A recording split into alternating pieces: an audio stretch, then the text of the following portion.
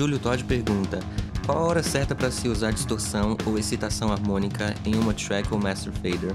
Principalmente para quem está começando, é difícil ter esse feeling. E como isso pode ajudar a mix? Bom, saturação, harmônica, distorção é uma ferramenta indispensável em qualquer mix, com certeza. Ah, o legal antes é você entender realmente qual é o papel e como que ela pode ser usada, né?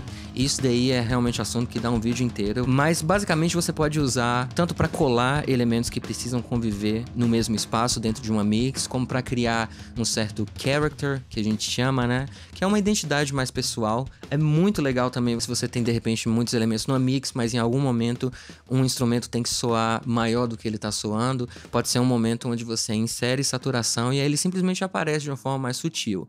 É, então é legal entender a ferramenta antes. Eu com certeza vou dar mais atenção para isso. É um dos vídeos que já está aí na lista para eu fazer. Mas por enquanto eu vou dar um exemplo simples aqui, onde eu vou usar um exciter para devolver de volta a presença da bateria, porque a bateria e o baixo estão no mesmo bus, os dois comprimidos, então o baixo roubou mais a cena. Nesse caso, um FX vai fazer bem o papel.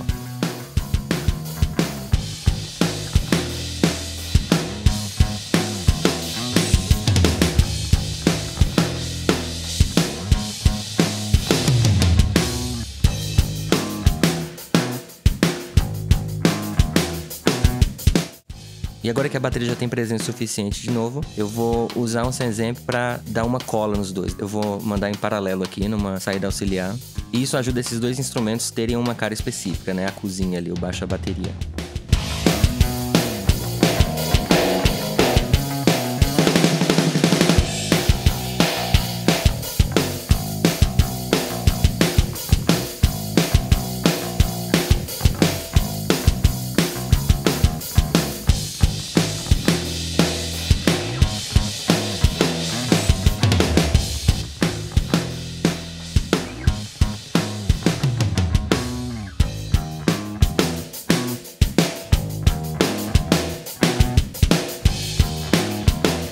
Você vai experimentando a tonalidade que mais te agrada. Você tem sim um papel muito importante em tomar essas decisões baseado em funções técnicas, mas se você acha que tá bonito, coloca. Se você acha que ajudou a música, passou a mensagem melhor, fez o instrumento chegar com energia maior e aos poucos você vai refinando o seu gosto. Isso daí é fundamental você entender que a mixagem no início, ela ainda precisa partir muito de um lugar de experimentação. Então, vai testando, às vezes funciona, às vezes não funciona. E um conselho que eu procuro dar, principalmente para a galera iniciante, é tentar fazer essas experimentações em sessões paralelas. Se você tiver algum trabalho de algum cliente, tenta ser um pouquinho mais reservado com relação a essas loucuras, porque você pode realmente, como eu falei, bagunçar uma mix inteira. Então é legal tomar cuidado com isso. Manaém, grande brother, pergunta: Como eu consigo deixar os instrumentos da mix tocando bem definidos ao ponto de ouvir todos sem embolar? E João Vitor diz: Diego, nos dê algumas dicas de mix com todos os instrumentos bem definidos e agradável de ouvir. Essa realmente é uma pergunta gigantesca que eu recebo sempre. Ah, tudo tem que começar com uma gravação bem feita. Muitas vezes a gente tem que consertar muita coisa na mix, mas se a gravação estiver realmente muito bem feita, ou pelo menos cuidadosamente bem feita, eu acho que você consegue encontrar essa definição quase que instantaneamente.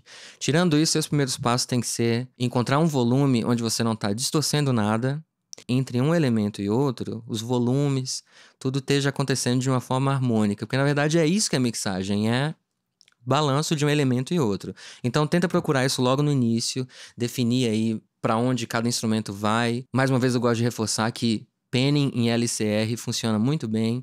Então, se algo tem que estar na sua frente, coloca no meio, vai distribuindo as coisas nas laterais, depois você encontra um meio termo, você encontra um 50% aqui, um 30% ali, mas tenta começar de uma forma mais clara. Quando abrir o equalizador, procura primeiro pensar em corrigir as anomalias, né? Tirar as frequências que você não quer, que não precisam estar ali, tirar som de ar-condicionado, qualquer ruído de rua. Segundo equalizador, de repente, quando você estiver pensando já em dar característica, Uh, pensa de uma forma mais direta. Por exemplo, esse som tá quente o suficiente ou ele tá brilhante o suficiente? Será que ele tá muito gordo? Será que eu preciso tirar mais corpo? Será que eu preciso acrescentar mais corpo? Filtrar todo tipo de frequência que você não precisa também é muito importante. A gente não precisa de extremos agudos nas guitarras, nos violões. A gente não precisa de nada abaixo de 100 Hz num chimbal, por exemplo. Então, cada coisa no seu espaço.